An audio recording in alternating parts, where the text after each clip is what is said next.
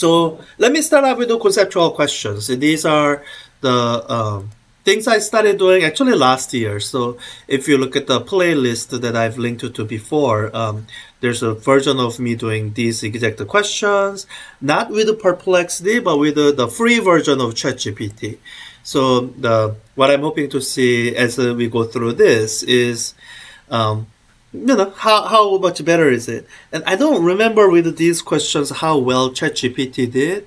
ChatGPT might have done fairly well also. So um, so anyways, um, so let me just copy and paste one at a time and I will look at the perplexity response and I'll critique it. Um, and um, again, as a reminder, if we are using uh, any generative AI as you are doing, so homework is where outside help is a lot. It what I do uh, requires that what you submit reflect your work. So you know, outside the sources, there's a way you can cite it so that um, you can kind of see what comes from, uh, so the other people looking at it can see what comes from you and what comes from the outside the source.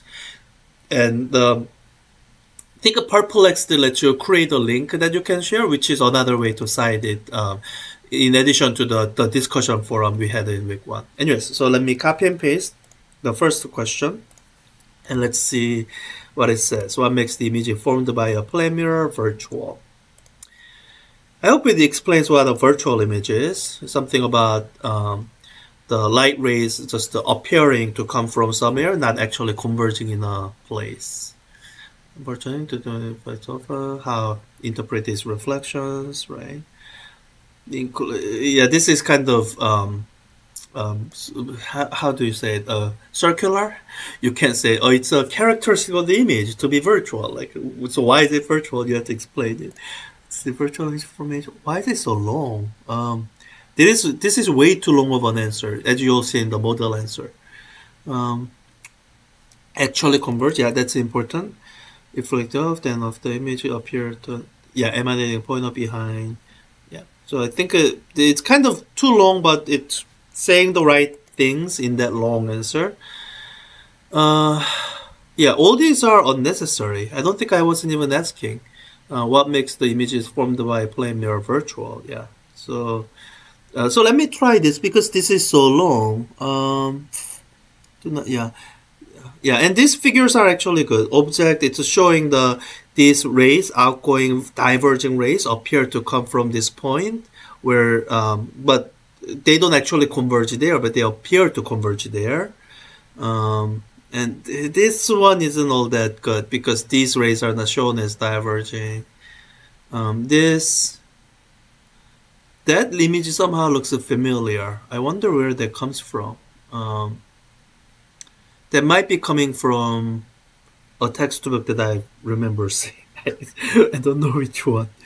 Uh, yeah, anyways, so let because it's so long, uh, let me do this. Um, could you summarize that in one short paragraph because that one was just so long. Uh, uh, virtual image formation by a plane mirror.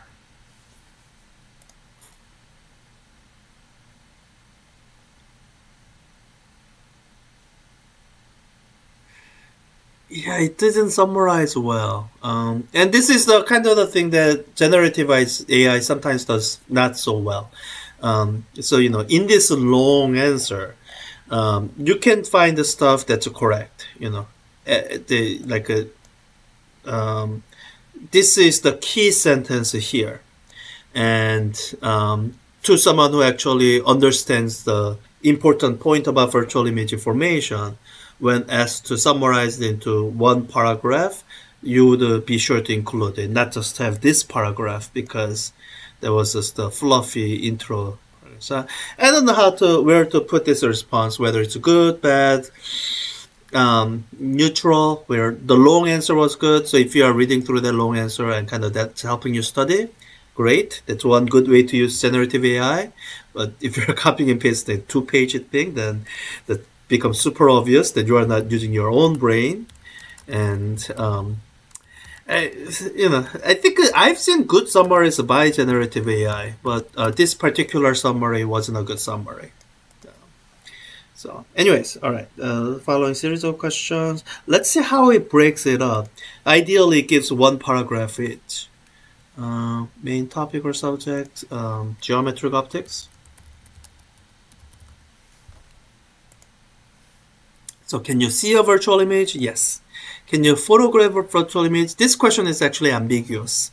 Um, uh, I guess one short answer is yes. uh, uh, now this one is not ambiguous. You cannot you cannot project a virtual image onto a screen because um, you would need a real image at the location of the screen, and you can't have that with a virtual image. And is it necessary to project? Or the answer is no. You can actually just see a real image. Um, so let's see. I think ChatGPT missed this one last time I asked this question. So let's see. A, you can see a virtual image. Yeah, virtual image is formed. All right, yeah, I think the well, this is good enough for the explanation. I think in the same way the other summary explanation was deficient, and this is also, uh, yeah, uh, it's good enough. I think I'm just being nitpicky. Uh, if I saw this uh, in your answer, I don't think I would have, uh, other than I just saw it in perplexity answer, I would have uh, raised an issue with that. So yes, you can photograph a virtual image. I wonder if uh, cameras work similar to our eyes. Okay, when you take a photograph virtual image, direct the form of real image onto the camera sensor. Yeah, that's uh, the one interpretation you can take and say, yeah, you can photograph it the same way you can see it. Um, the other interpretation that would be defensible is if you are talking about, um, so by photograph, do you mean if virtual image is at the location of the film or CCD sensor, would that form an image? The answer there is no. You need a real image at the location of the sensor. And the camera optics do that. So this is a good answer within a particular interpretation. Uh, can you project a virtual image? No. Yeah, uh, because you need a real image there um, right physically converge yeah characteristic of a real image. The uh, yeah this is a good answer. You don't need to project. You can just see it. Yeah okay, they can be seen without a screen. The main thing you need to make sure you do is you have to be in a kind of path of the beam. So if you're trying to see the real image from the side uh, you know that won't work because you need something to diffusely reflect if you're going to do that um, but you know as long as you put yourself in the path of the beam you can just see the real image. I think there will be one lab. It might be, uh, I think next week's lab, you will actually see that. Uh, you will set up the lenses and you can look through the lenses to see the real image. Well, real and virtual image. Uh, yeah. yeah. This diagram is just, um, I have no idea what this is. That's just a nonsense diagram. this, um, these have nothing to do with the questions I'm asking. I, I don't know why these are cited. Uh, so other than those weird images at the end, good answers. Um, let's uh, look at next question. Spherical aberration. Yeah, so it would uh, um, have to explain that. It's the uh, error that comes from making mirrors as a sphere rather than parabola. Does not focus, yeah, all parallel rays a single point. Yeah, does it mention parabola? Uh, more pronounced. Um, yeah, use parabolic mirrors.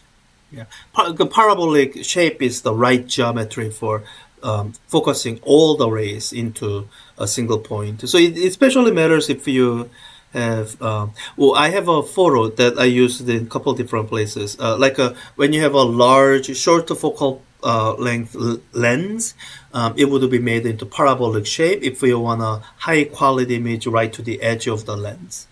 Um, most uh, like uh, you know magnifying glass you can kind of see when you look through it at a distance. In the center you get good image and but it get like distorted towards the edge uh, it, the spherical aberration in a mirror is basically the same effect. Um, use of corrector plate, sure. Um, uh, now this is getting way too technical. So if I see answer like this, then I'll get suspicious. Like we didn't cover this in class. Where is this coming from? Why do you think this is important? anyway, aspheric lenses. Uh, oh, so I guess this is kind of similar as that. Um, stopping, yeah. So if you if you use like a like a small center part of the lens or the mirror, that'll help because the spherical aberration becomes more serious towards the um, farther edges of the uh, thing. So this is actually one good way that um, I might not have mentioned this in the model answer. That's possible. That uh, it has to do with the, the phrase that um, don't think it's mentioned the paraxial. So uh, could you explain what paraxial rays are? I might have mentioned the phrase paraxial rays in the model answer. It's basically uh, the rays in that uh, where spherical aberration is negligible, um, but the rays that are not so paraxial, um, that's where you need a uh, parabolic shape in order to avoid serious uh, distortions. Then proximity to and small angle with the optical axis. Yeah, that's it. Um, yeah, let me know. Well, why the answer's getting so long? Um, but yeah, you can read it on your own. Uh, so let me pause briefly. You can read it on your own if you want. Uh, skip ahead. Uh, I just wanted some mention of paraxial rays.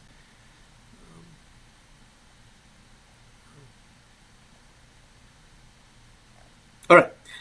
So the answer gave was good. Uh, let's go to question number four. Um, you can argue that a flat piece, yeah, infinite focal length. It forms an image, um, well, at the same location as the object. But it won't be like di is equal to do. You have because of the sign convention we use, they'll have opposite sign but same distance. Mm. Geometric optics,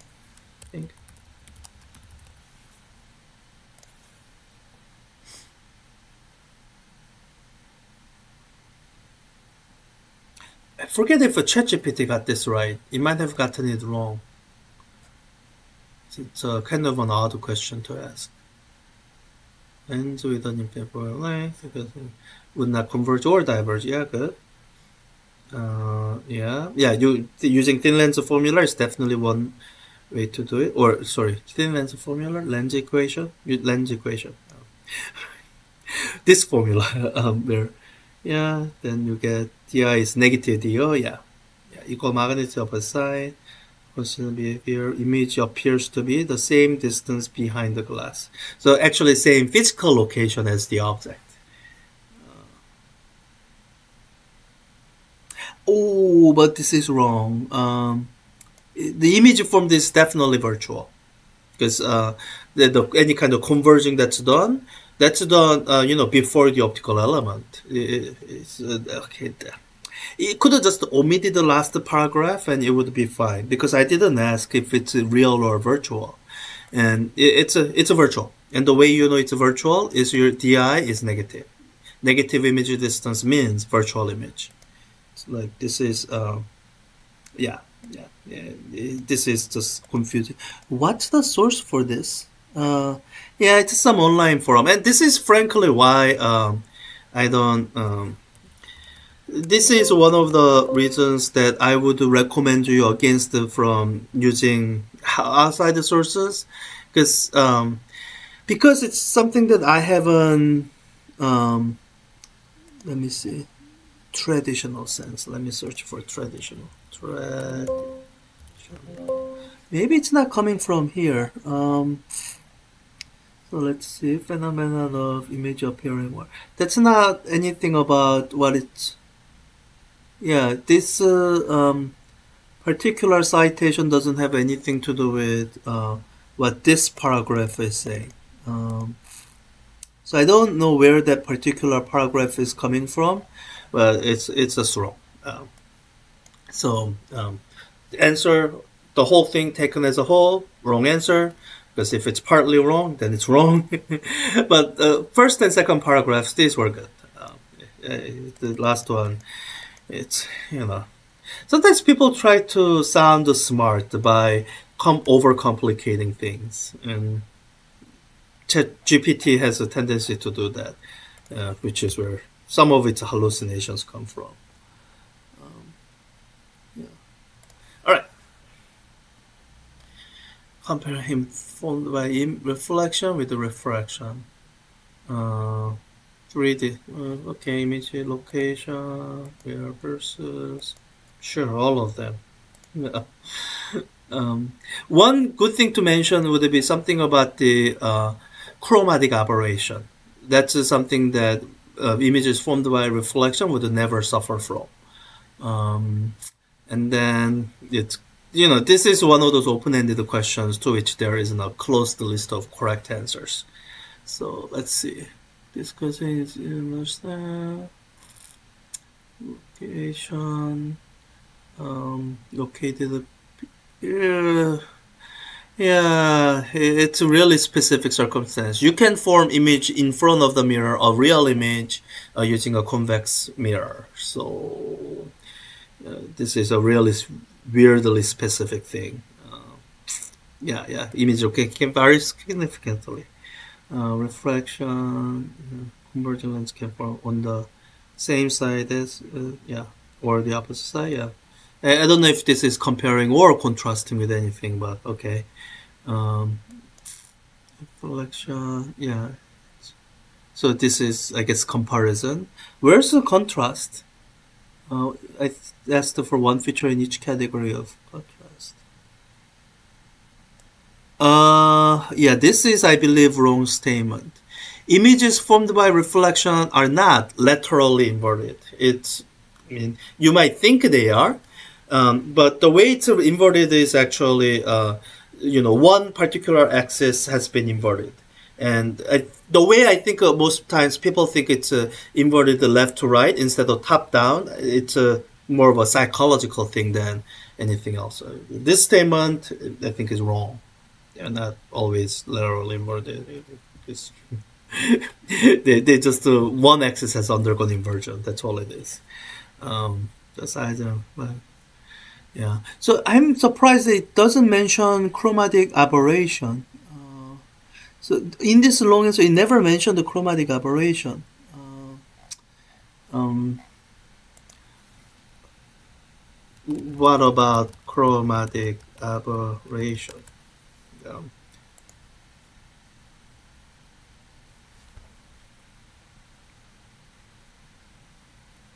I wonder if we'll get the context from above or just uh, go on to into an explanation about chromatic aberration. Uh, yeah, I, I don't know. Um, you know, I, I guess, uh, you know, I, I'm in an open-ended question. I'm looking for one specific thing, which in some sense isn't fair. So, but I, these long answers do bother me a bit, but uh, it's fine. Why isn't there a mention of using a mirror? Because if you use a mirror, then there's no chromatic aberration. It's yeah, never mind. Uh, eh, you know, if you want a response that sounds like it comes from deep understanding, generative AI isn't your go-to. Um, let, let me just do this one last thing. Can't you just use mirror optics.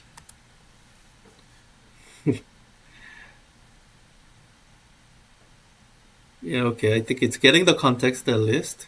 Yeah, it's like. I mean, that's why um, in astronomy, uh, at some point, one of the reasons, uh, in at some point, it's uh, better to use um, reflection-based telescope than lens-based telescope. So